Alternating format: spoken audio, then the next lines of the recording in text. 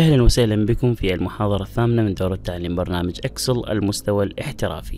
إن شاء الله في هذه المحاضرة راح نتعلم كيفية عمل التنبيه الآلي للدفعات في القروض. طبعا عندنا هذا الجدول يحتوي على تسلسل واسم الزبون وهنا المقدمة وتاريخ التسليم. طبعا نريد إحنا إنه بعد كل شهر من تاريخ التسليم يعطينا تاريخ بشكل آلي وبنفس الوقت ينبهنا إنه هذا الشخص استحق الدفعات ولا بد إنه يدفع.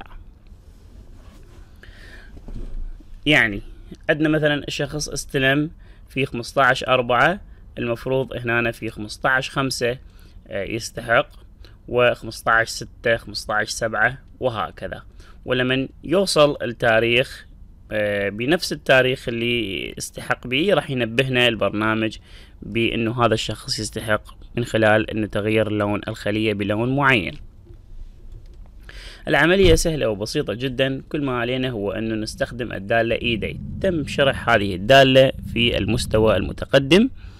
الدالة بسيطة جدا وسهلة.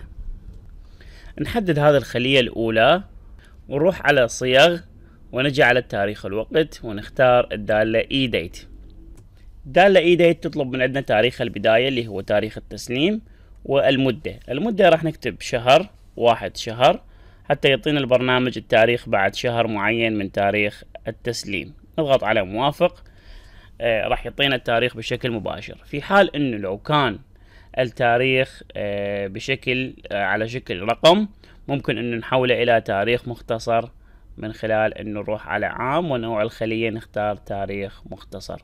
وراح يعطينا هنا التنبيهات إنه هذا الشخص بعد شهر راح يستحق اللي هو 15 5 طبعا ممكن نجري بعض التعديلات على البرنامج حتى يكون بشكل أوضح. هنا التاريخ يصير تاريخ القسط الأول. وطبعا دبل كليك على الخط اليساري. وهنا يصير تاريخ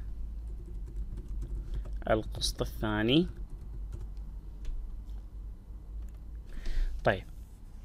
نجي تاريخ القسط الثاني. شو وقت راح يصير نحدد هذا الخلية؟ نروح على صيغ ونجي على التاريخ الوقت ونختار اي ديت طبعا عندنا هنا خيارين. يا أما الستارت ديت اللي هو هذا التاريخ اللي هو بعد شهر من التسليم ونكتب هنا المدة واحد.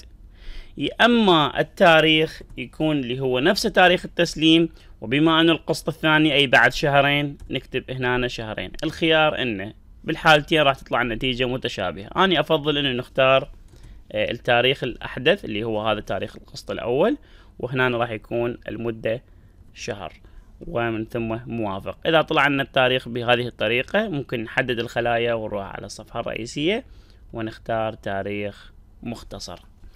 بنفس الطريقة نعمل التاريخ اللي هو القسط الثالث.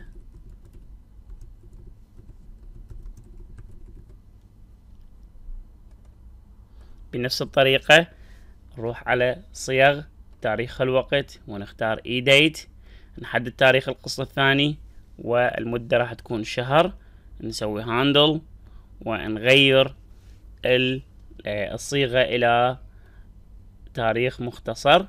راح يطلع لنا هنا 15 سبعة 15 ستة وهكذا. طيب بنفس الطريقة نعمل بقية الأقساط. لبقية الشهور. طبعا هنا لو كان التاريخ متغير يعني لو كان 15 لو كان هنا التاريخ 17 4 1 7 4 2019 راح يتم التغيير في جميع التواريخ. أي أن هذه المعادلة هي ديناميكية ومتغيرة.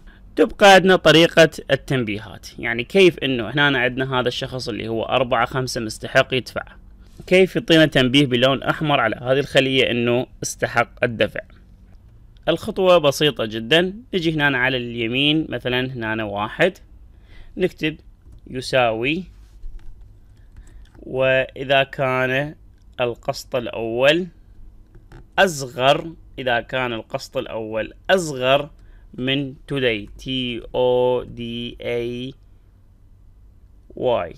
طبعا لا ننسى الأقواس. نفتح قوس ونسد القوس و enter. راح يعطينا false ليش؟ لأن هذا التاريخ هو مو أصغر من today شنو يعني هذا التاريخ مو أصغر من today هذا التاريخ اللي هو 17 5 أقل من today اللي هو 15 5 لو أكبر من 15 5 حتما أكبر من 15 5 ليش؟ لأن هذا 17 5 فطانا false أي إنه ما مستحق الدفع.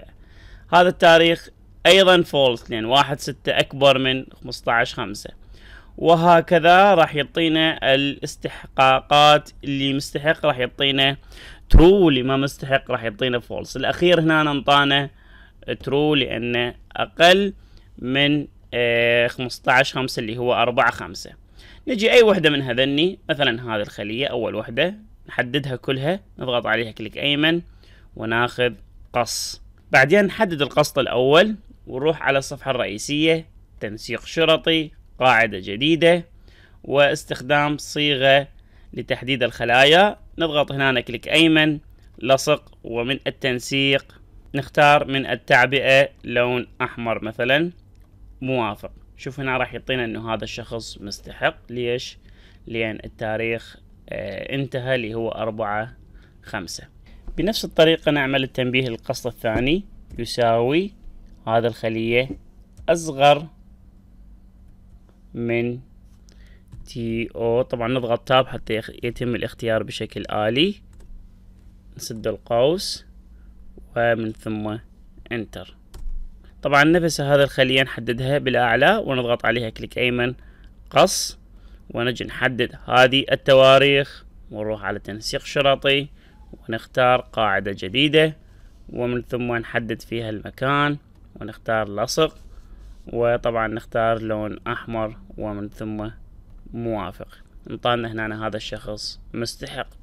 لو كان هنا أربعة أربعة اللي هو استلم يوم أربعة أربعة نلاحظ أنه يوم أربعة خمسة مستحق هنا ما مستحق. وهكذا مثلا لو كان هنا أربعة اثنين نلاحظ أنه مستحق هنا بنفس الطريقة نحدد هذه الخلايا ونروح على تنسيق شرطي قاعدة جديدة ونجي على استخدام صيغة نضغط هنا على كنترول في فقط نغير ال H العمود H إلى العمود J. ومن ثم نختار تنسيق لون أحمر موافق ومن ثم موافق. نلاحظ انه آه لا يوجد شخص مستحق لأن أقل تاريخ عندنا ثلاثة وعشرين خمسة ممكن هنا نسويها آه ثلاثة اثنين. نلاحظ أنه هنا يكون مستحق.